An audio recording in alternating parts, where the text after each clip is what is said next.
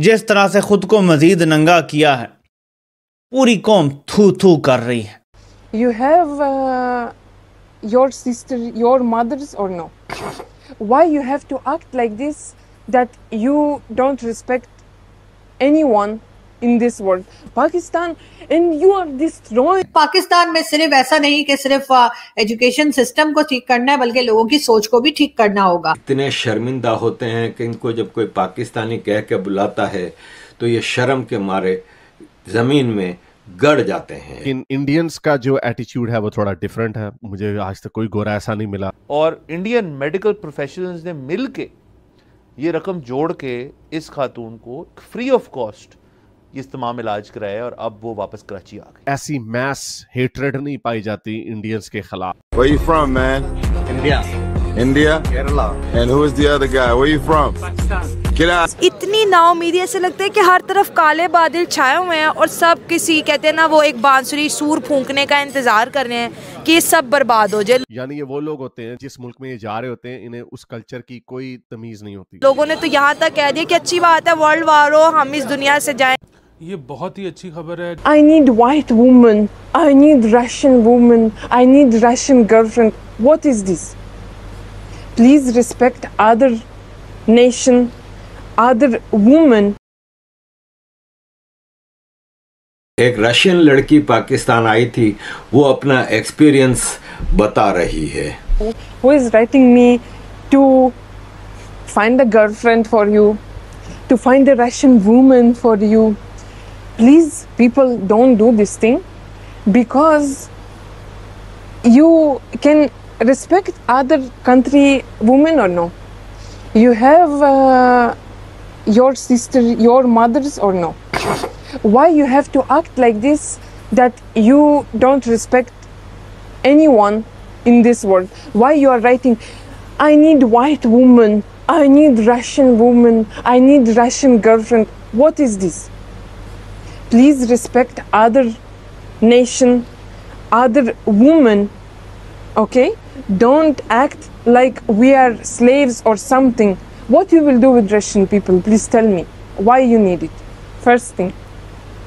Second thing, don't write me please uh, like you are asking for help or something uh, make a visa for me to uh, going to russia guys i'm not an agency. I don't know. I didn't make this video uh, for you like to ask me about uh, visa or to ask me about russian woman. Please don't do this thing. Don't act like an idiot. I'm trying my best to show all the good sides of Pakistan and you are destroying this vibe, you know, by yourself, by writing some stupid comments. I blocked already thousands of people. I have blocked thousands of comments. I will block you, everyone, if you will uh, text me this thing. Okay? You understand it or no? I hope. Because it's disrespectful for me for Russians.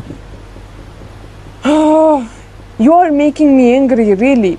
I am not an agency. I didn't make this video for that. And I, please, don't ask me for Russian woman, Russian girl, white man. एक खातून 19 साल की जिनका नाम है आयशा राशान कराची की रहशी हैं और apparently born in India but बहुत यंग एज में कराची मूव होगी तो उनको बड़े सालों से नौ साल की उम्र से से बल्कि पाँच साल जब उनकी उम्र थी सॉरी तब से उनको एक हार्ट डिज़ीज़ है बड़ा सिवियर सो मच सो कि उनकी एक कहा जाता है जो आर्टीरियल वॉल होती है या वेल्व होता है उसके अंदर से कोई लीकेज बार बार हो रही थी जिस वजह से उनको परमानेंटली कोई एक एपरेटस पहन के फिरना पड़ता था टू स्टे लाइफ सो वो बढ़ते बढ़ते चीज़ें जो हैं वो 2019 में सद तक पहुँच गई कि वो बिल्कुल ही सब डॉक्टर ने हाथ उठा लिया. सो so, एक M G M health care institute है चेन्नई में. ये 2019 में वहाँ गए और वहाँ पे एक डॉक्टर ने कहा कि आपका ट्रांसप्लांट सिर्फ़ हल है। तो सर, मैं आपके शो के तवसत से बताना चाहूँ कि उनका जनवरी के महीने में ये ट्रांसप्लांट जो है वो सक्सेसफुली कर दिया गया था। दिल्ली के एक रिहायशी जो एक 69 ईयर ओल्ड ब्रेन डेड मरीज़ थे, लेकिन हार्ट उनका बिल्कुल ठीक था। वो इन खातून को मिला है। अब वो बिल्कुल ठीक हैं, वो पाकिस्तान वापस आ गई हैं।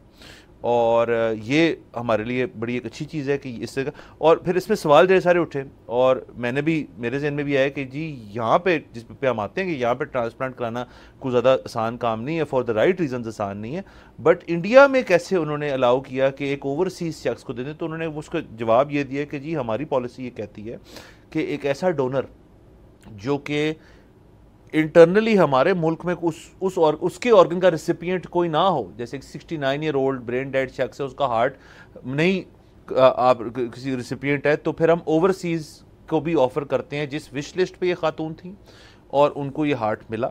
And now she is fine और उसके साथ साथ मैं ये आपको बताऊँ कि इसकी लगभग जो कीमत है टोटल वो है 3.5 मिलियन इंडियन रुपीस जो यहाँ के बनती हैं, कोई एक करोड़ सतारह लाख रुपए। एक और मुस्बत चीज़ इसके अंदर कि जो एक एन जी ओ है, ऐश्वर्या ट्रस्ट, वो इसी ट्रस्ट के कुछ पास्ट पेशेंट्स और इंडियन मेडिकल प्रोफेशनल्स ने मिल के ये रकम जोड़ के इस खातून को फ्री ऑफ़ कॉस्ट ये तमाम इलाज कराया और अब वो वापस कराची आ गई ये बहुत ही अच्छी खबर है। जितना शुक्रिया अदा किया जाए इसमें मेडिकल स्टाफ प्लस एनजीओ का जिन्होंने ये सारा कुछ किया उतना कम है।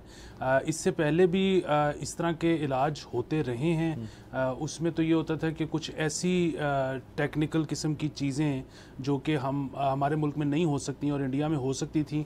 तो यहाँ पर हमारी जो फॉरेन मिनिस्ट्री है वो भी उसमें एड करती थी वो रिक्वेस्ट करती थी इंडिया को। इंडिया कई दफ़ा वीज़ा ग्रांट कर देता था और फिर उस उन केसेस में इंडिया जाकर उसका उस शख्स का इलाज हो जाता था।